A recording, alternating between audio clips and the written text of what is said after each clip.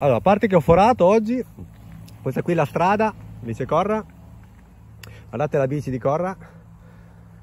Stiamo cercando di tornare a casa, ma è improponibile. C'è bella terra dappertutto. E ci stiamo divertendo lo stesso, dai. Ciao ragazzi.